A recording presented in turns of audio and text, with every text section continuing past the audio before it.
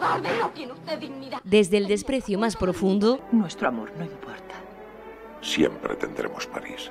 No al amor más peliculero, las emociones mueven el mundo y también las redes sociales. Como en toda conversación entre humanos, Hay mucho sentimiento. Cualquier persona que está volcando contenido en las redes sociales lo está haciendo bajo su subjetividad siempre. Nuestras emociones son subjetivas y objeto de deseo de marcas e instituciones. Ahora es más fácil conocerlas porque las dejamos escritas en un tuit o un comentario de Facebook. Cualquier marca o cualquier entidad que quiera conocer a sus usuarios tiene que estar con una oreja en las redes sociales. Tienes que saber si, si el contenido que tú le estás dando a tus usuarios les gusta o no les gusta, si los temas de conversación que se están generando son los oportunos. Si no conoces qué están opinando tus usuarios, no sabes cómo satisfacer sus necesidades. Emociones 2.0 sobre las que estos dos sevillanos han creado la primera herramienta capaz de gestionarlas. Una herramienta que precisamente nació de las emociones que en las redes sociales provocó una crisis, la del verano de 2013 entre los gobiernos de España y Gibraltar. Fue cuando decidimos que teníamos que hacer una herramienta porque,